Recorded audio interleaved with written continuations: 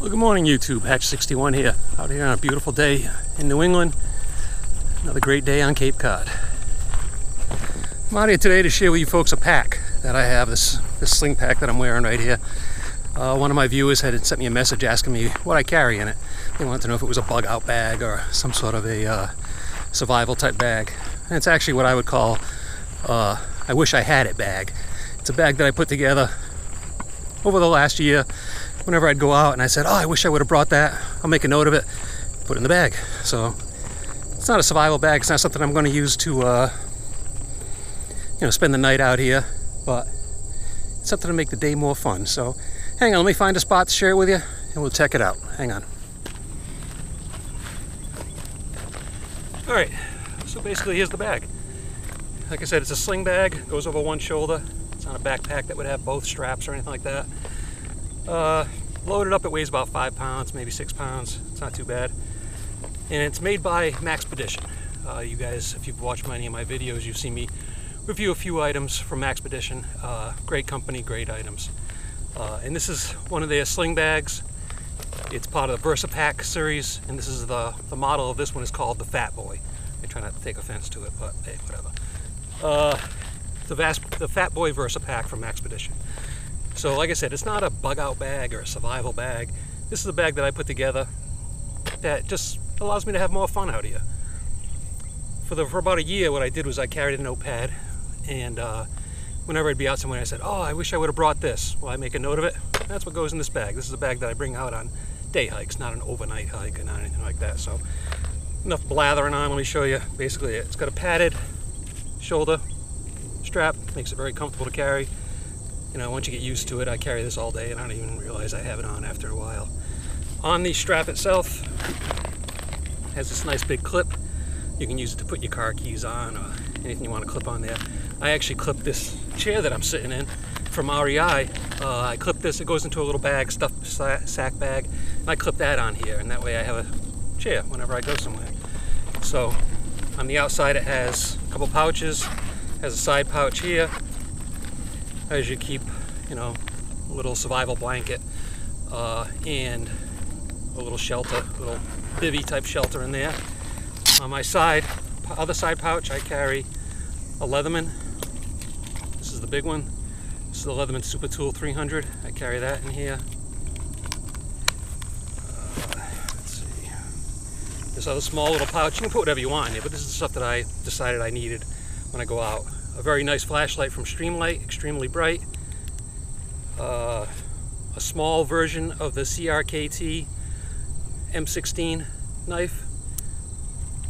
You know, always, always need a knife. And if not, it's great just for to whittle and have a good time and carve into some wood. So that's basically the outside straps. On the uh, front of the pack has this nice closure. Has a zipper pouch in the front that you can put small items in. That's where I keep my little notepad stuff. On this big front pouch, there's a pocket here. Right now I don't have anything in there, but a lot of times I'll stick my cell phone or something like that in there I'm carrying it. Uh, there's another zipper pouch here. This is basically, you know, you go out someplace and you're like, oh, I wish I could go fishing or whatever. Well, I have my fishing stuff in here. This is my tackle box, and this is my hand line. I've done videos on, on this before, so if you want to check these out, uh, you can go on check out the video on the hand lines. And I have a little tackle box. Like I said, it's just the basics, just so you can go out and have fun. It's got some bobbers and some lures and some hooks and different things. Most of the time when I go out and I'm going to fish out in the woods, I usually catch crickets or grasshoppers or, you know, just roll a log and grab some worms. And that's what they're going to strike most when you're out there. Natural baits, because that's what they're used to. Uh, then it has this nice big pouch here with a locking closure. And in here I keep some paracord. I keep this little pouch and again I have a video on this. This is also from Maxpedition. There's a video on this if you look back.